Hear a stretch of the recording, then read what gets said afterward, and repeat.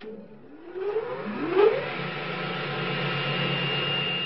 everyone, uh, my name's Tim and I thought I'd just do this quick tip for you um, just to help you all out with an idea that I've not really seen um, used much on YouTube if at all. Um, but it's just how to get ink. Um, so I like to when I've done my carvings colour them in with ink um, it's how you get the ink into these very fine lines. Uh, you know, the, the kind of lines which are done with the very fine CNC type bit that is literally just one pass along there. So it's a very fine line for getting a brush in.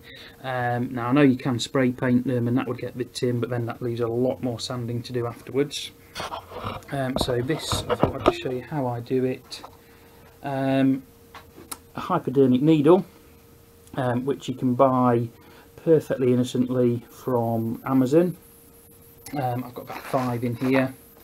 Um, then use the ink dip that in fill it up and it's then just a case of getting your needle in and just working your way along. Now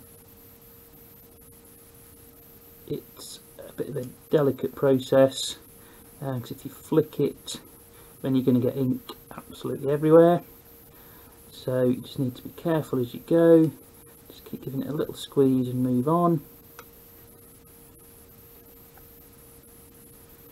There we go. So very nearly done.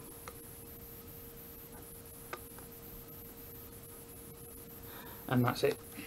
So that's that very fine line which would be an absolute pain to get in with a brush because um, I'm, going to brush the rest of this um, but I just like to keep that to hand just for any particularly fine lines. So thanks for watching, hope you found the tip useful, uh, just something I thought I'd share with the group. Um, so see you all soon.